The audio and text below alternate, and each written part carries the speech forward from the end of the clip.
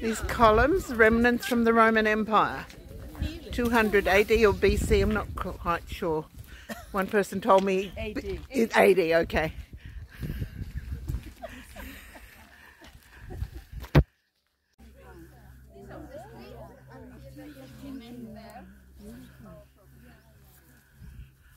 So what was the story?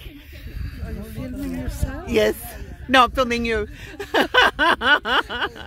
It's a holy ground. It's a Oh, holy ground. okay. But, the, but this is the area which I have talked before where the Christians used to come to escape from the Oh, okay. persecution Okay. inside of Rome. So they came here.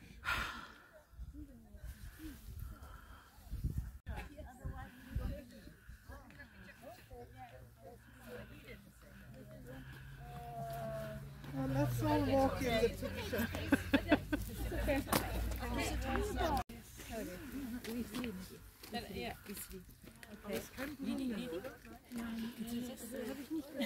So this is where the Christians came to escape the persecution in the Holy Roman Empire in the early early centuries, early Christian history.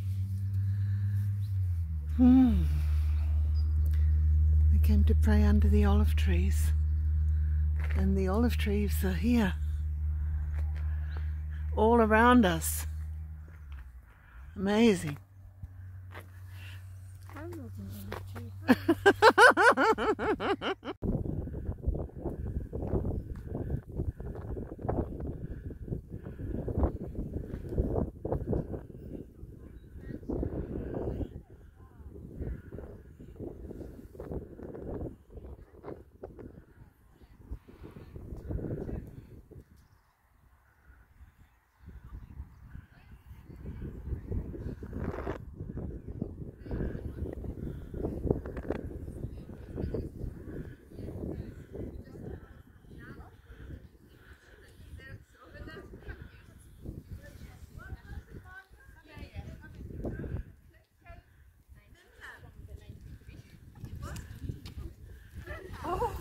energy.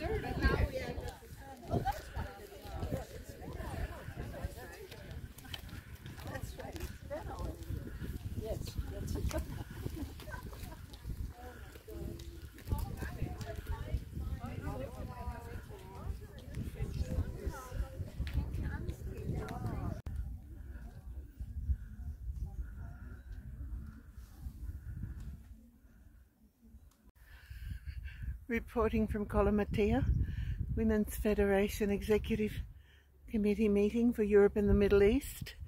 40 Women for Peace, meeting for a weekend.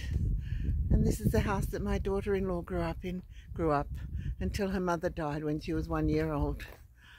Yes, beautiful landscape, olive trees and vineyards. And the women have gone for their walk and I'm preparing for my media presentation. So that's why I thought I'd better record something.